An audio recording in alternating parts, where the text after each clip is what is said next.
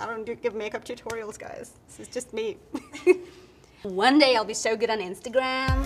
Hi Vogue, this is Freida and I am gonna show you my fresh face red carpet look.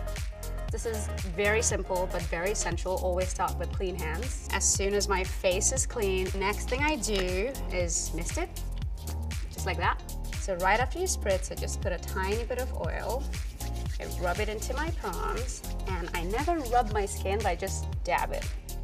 And everyone has a different technique of massaging your face. I like going upwards.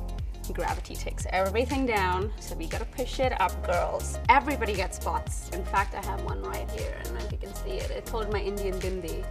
I would just use a very good cream concealer um, and just go into the spots and dab it with your clean fingers. Key is less is more. You want to be able to show who you really are, your inner beauty, just keep it less. For me, it's always better top to bottom. And so I start with eyebrows, and then I'll go into the lids, the mascara, and the lip. I just use a gel, I think it's like a dark brown eyebrow filler. This is why I like the mistakes. I go on with a clean spoolie, and wherever I've dabbed in way too much, I just push it up because that creates hair-like lines, you know, without having to actually paint it on. And then you take a little Q-tip and clean all the mistakes off. Well, I can never draw within the lines even as a kid, so that's not gonna happen on my face.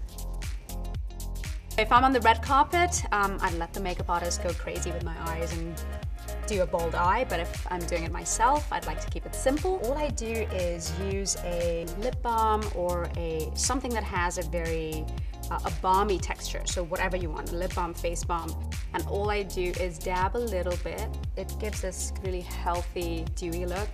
I have this natural discoloration on my eye, and I think it's like my natural eyeshadow. So, you know, you, you, you kind of use what you've been given because you can make it look beautiful. Okay, so the next tip, trip, tip, trip, I'm tripping. I'm so tripping right now. next step is mascara. And I start at the root, just so that it kind of gives the feeling of a big, full, open eye. Don't worry about getting it on your eyelid because you always have Q-tips to clean it off. If there's one thing you'll always find in my handbag, it's a matte red chubby stick. So I use a classic red as the base. I try not even put a lip balm just because a matte stays better on when there is no lip balm on. And somehow I've noticed when you do the little mm, smush your lips together thing, you kind of get the perfect line. That's probably another thing that I always carry in my bag, Q-tips. You don't want to get a lip above your lip, you know, that's not a good look. This makeup artist, she gave me a tip. She said coral and like a really beautiful coral dabbed right in the center of your lips, up and down, can create that kind of goldeny definition.